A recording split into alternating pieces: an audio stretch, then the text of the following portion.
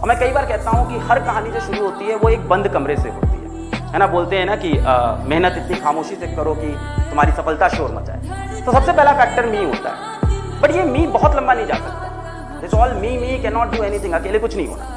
Then come C C square so C square stand for connection and community बच्चों को मारिए मत, sir. आप में से किसी को भी लगता है कि मेरा बच्चा निकम्मा है, पढ़ता नहीं है। सर, एक बार हमसे मिलवाइए, sir. Sir, Disha.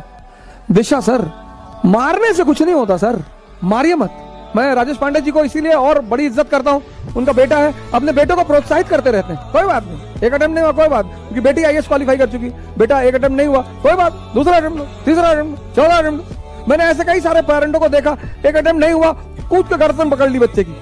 सर, प्रतियोगी परीक्षा मतलब प्रेशर और मान लीजिए बच्चे का नहीं हुआ, और अगर माँ बाप कहते कोई बात नहीं बेटा दस बार नहीं होगा तो भी तुझे खिलाएँगे।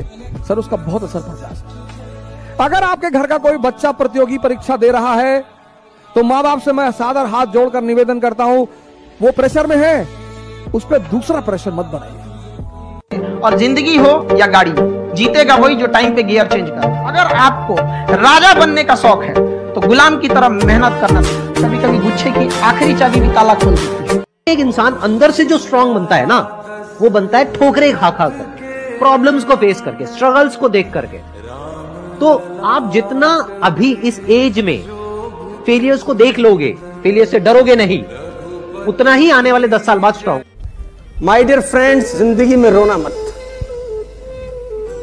वो कहते हैं कि साहिल के तमाशाई, साहिल के तमाशाई आप पे हँसते तो रहेंगे और दुखी भी हो जाएँगे, लेकिन कभी इमदाद नहीं करेंगे जीवन में।